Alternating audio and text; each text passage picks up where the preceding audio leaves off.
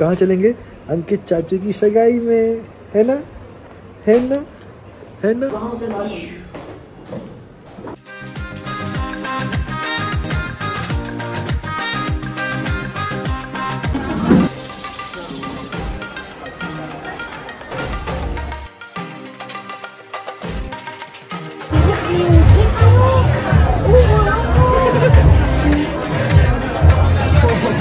रोहान भी मस्त सेटल है। है ना रुहान? है ना? ये बताओ how are you feeling man कोई नहीं। सोया ही नहीं भाई कल रात से। ठीक है ना? अभी तो सगाई है उसमें क्या हाल होगा तेरा शादी में? पता नहीं। एनीवेज रूहान ओले क्या हो गया? हाँ।